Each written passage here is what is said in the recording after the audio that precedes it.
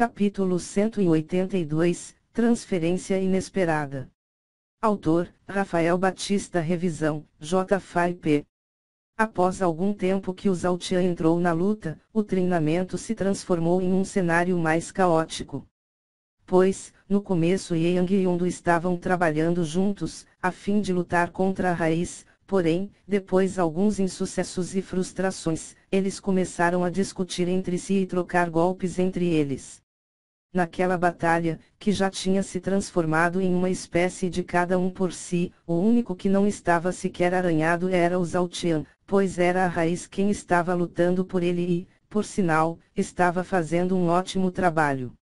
Cerca de 50 minutos se passaram desde que Zhaotian começou a controlar aquela raiz e, enquanto Yang e Yondo continuavam discutindo e atacando qualquer coisa que chegasse perto deles, os movimentos da raiz começaram a ficar lentos e ela ficou frágil, indicando que já não tinha tanto poder quanto antes.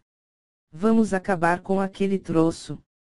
Yang, que foi o primeiro a perceber que a raiz estava fraca, falou enquanto desviava de um soco do Yondo e apontava para a raiz. Imediatamente, Yondo parou de atacar o Yang e olhou para a raiz, antes de dizer, eu atacarei pelo flanco direito enquanto você transforma aquela coisa em cinzas. Swoosh!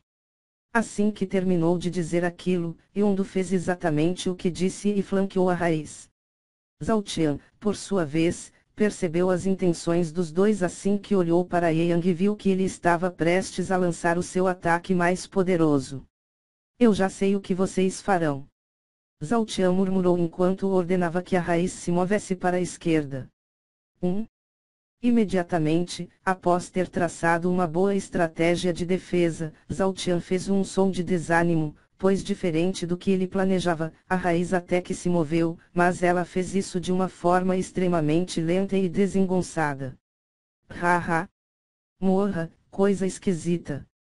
Yang deu uma breve gargalhada e xingou enquanto apontava as mãos para frente e observava que a raiz não conseguia se mover direito. Erupção do primeiro inferno. TSSSSSSSSSS Yang lançou o seu ataque enquanto Yondo, que só estava lá para distrair a raiz, recuou. Adeus. Palito, quando viu aquela coluna de chamas indo na direção da raiz, Zhaotian fez uma expressão pesarosa e se despediu da raiz, que por algum motivo, ele resolveu chamá-la de palito. Bom.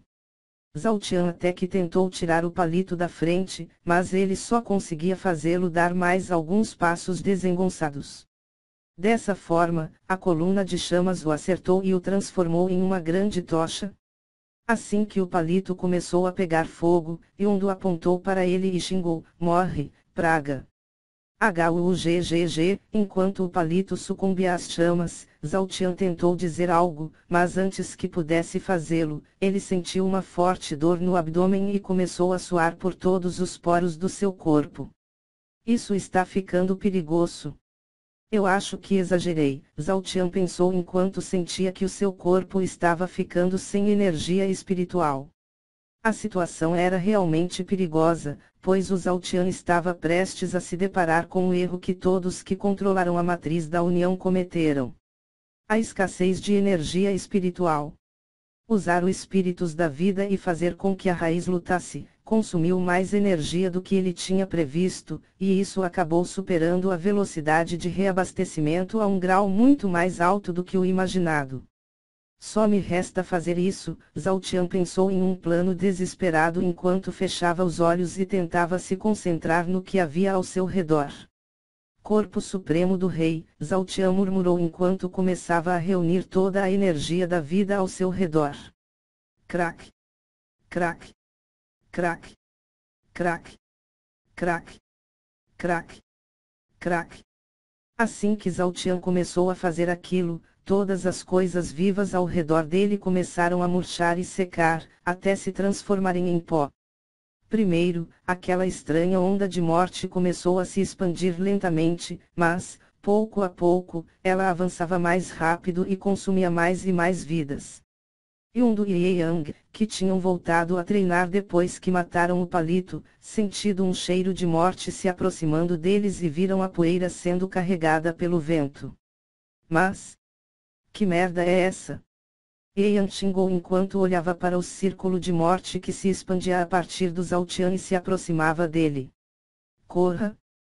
Imediatamente, Yundu, que era um cultivador da vida e conseguia sentir com mais facilidade o perigo que vinha na sua direção, gritou enquanto olhava para o Yang e corria. Assim que o Yundu disse aquilo e começou a correr, Yang seguiu e correu, até sair da matriz da União e se afastar por mais alguns metros. Um pouco distantes daquele círculo mortal, Yundu e Yang ficaram pasmos enquanto olhava para os Altian e viam o círculo crescer. Yang, o que está acontecendo? Tudo está morrendo. Yundu, eu não sei como ou o que ele está usando para fazer isso, mas... Ele está consumindo toda a vida do que toca. Zhao que estava focado em se salvar, não escutou a conversa entre o Yang e o Yundu, ou sequer percebeu que eles estavam olhando para ele como se estivessem olhando para um demônio. Contudo, apesar de estar sendo condenado pelos olhares dos dois, Zhao estava conseguindo recuperar as suas forças. Após alguns minutos de concentração, Zhao Tian conseguiu somar uma grande quantidade de energia espiritual à sua alta taxa de absorção de energia espiritual do universo, e conseguiu escapar do perigo. Porém, assim que ele abriu os olhos, ele viu um cenário extremamente feio. Isso. Fui eu quem fiz isso. Zhao Tian se perguntou enquanto olhava para um círculo de 100 metros de diâmetro, sem nenhuma vida grama, mato, insetos, criaturas subterrâneas e até mesmo aves que voavam baixo, tudo estava morto, não havia nenhuma coisa viva ao seu redor. Agora que já estava em uma situação estável, Zhaotian aproveitou a energia espiritual que tinha em seu corpo, para criar alguns selos de supressão e parar a matriz da união. Assim que Zaltian terminou de fazer o último selo de supressão, os selos no corpo dele começaram a perder o brilho, até ficarem totalmente opacos. O mesmo aconteceu com toda a matriz da união. Uf! Ufa! Zaltian suspirou e limpou o suor da sua testa assim que percebeu que a matriz da união estava desativada. Vendo que não havia mais nenhum avanço daquela onda mortal, e que o Zaltian estava lúcido novamente, Yondu e Yang se entreolharam, antes que o primeiro dissesse, está tudo bem. Podemos nos aproximar, ou você tentará nos matar novamente. No mesmo instante, Zaltian ergueu a cabeça e olhou para os dois. Ele viu que ambos, Yang e Yondu, estavam com semblantes assustados e temerosos. Também, devido à forma que Yundo fez aquelas perguntas, ele percebeu que acabou colocando-os em perigo.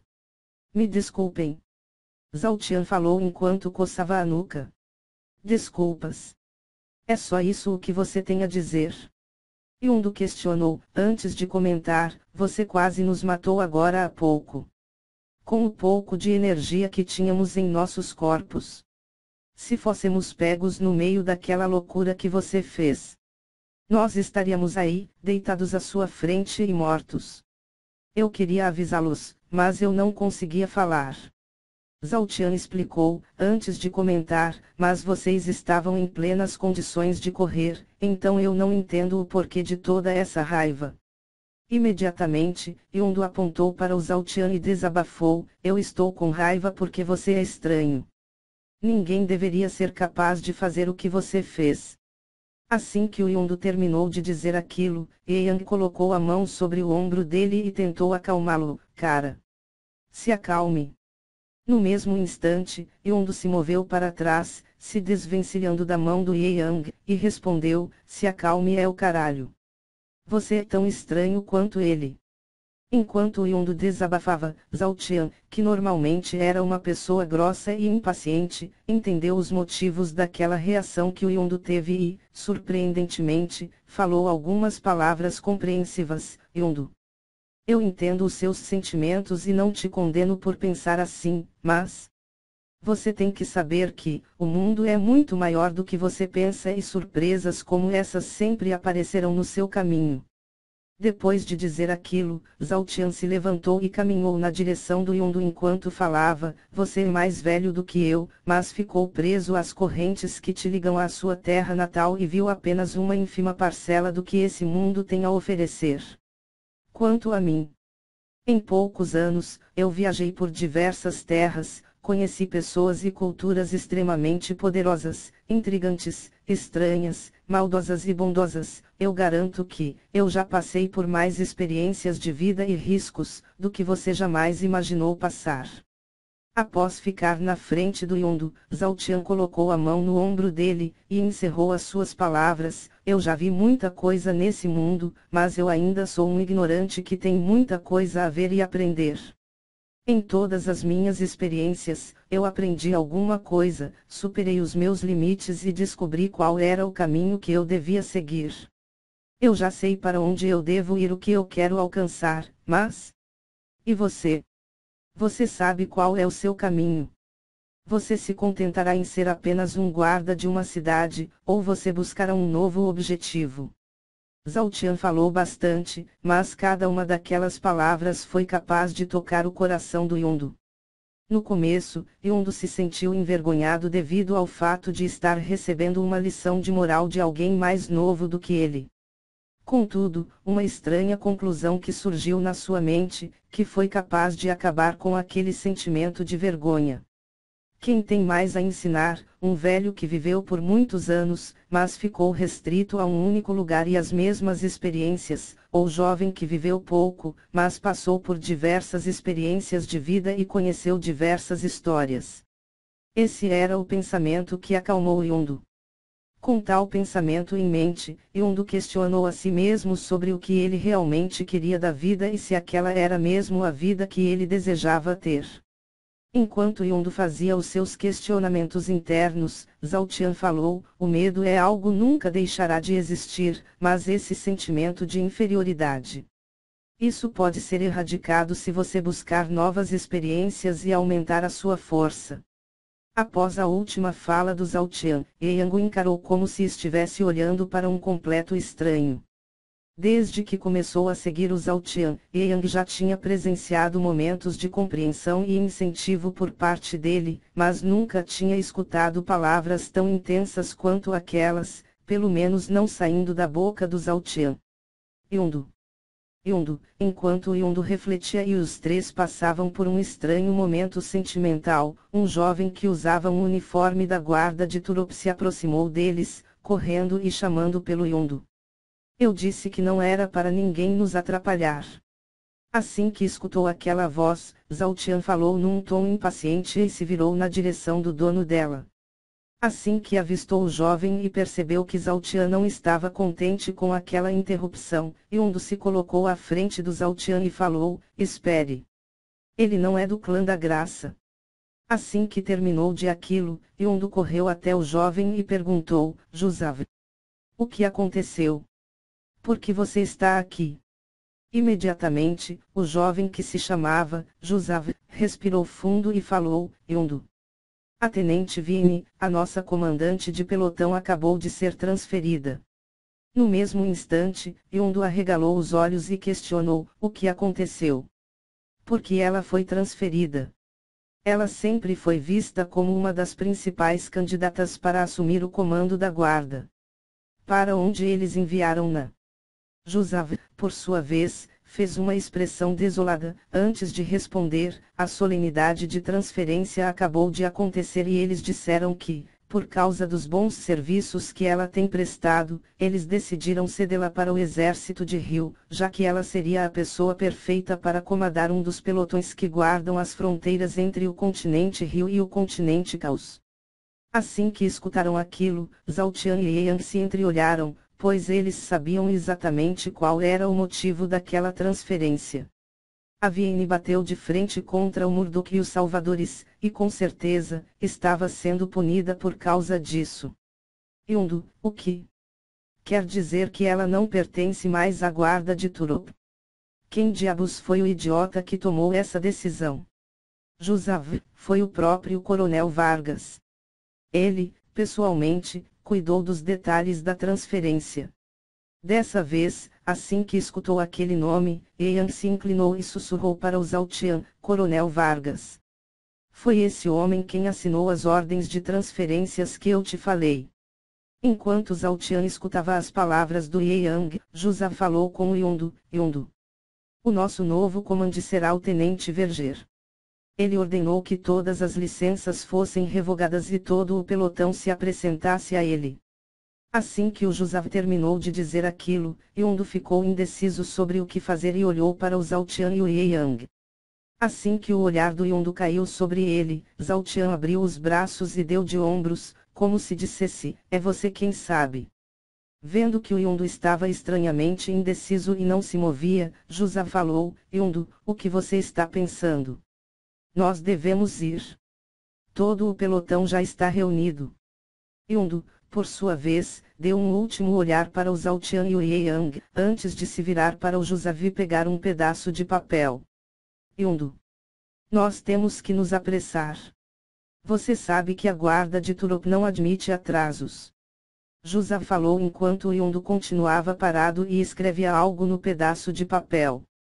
Após alguns segundos escrevendo, Yondo entregou o papel para o Jusav, e falou, Jusav. Entregue isso para o Tenente Verger. Esta é a minha carta de demissão. O que? Você ficou louco? Assim que as palavras do Yondo caíram, Jusavu questionou enquanto Zaltian e Ian ficavam tão surpresos quanto ele. Yondo permaneceu calmo e respondeu, Jusav. Tem alguma coisa estranha acontecendo. A transferência da Tenente Vienne não tem nenhuma explicação lógica. Eu não irei me reapresentar. Yondo. Você está louco, Jusav tentou dizer algo para o Yondo. Antes que o Jusav terminasse de falar, Yondo interrompeu, dizendo, eu já me decidi. Por favor, entregue essa carta. Vendo que não tinha como convencer o Yondo do contrário, Jusav pegou a carta e saiu enquanto balançava a cabeça e dizia, Yondo. Eu não acredito que você está fazendo isso. Enquanto o Jusav deixava o local, Zaltian olhou fixamente para o Yondo e perguntou, por que você fez isso? Yondo, por sua vez, se virou e respondeu: Eu estou desconfiado de alguns setores da guarda de Turop. Contudo, o que mais motivou a tomar essa decisão, foram as suas palavras. Eu quero alçar novos voos e conhecer este mundo. Imediatamente, Zaltia e Ian sorriram e acenaram com a cabeças, aprovando aquela decisão.